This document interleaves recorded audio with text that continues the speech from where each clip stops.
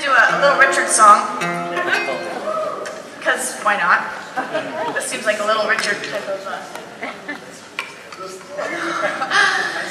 so, um, because we used to play a lot of Little Richard back in the day when we first started out, we used to play for weddings and funerals and bar mitzvahs. Little Richard.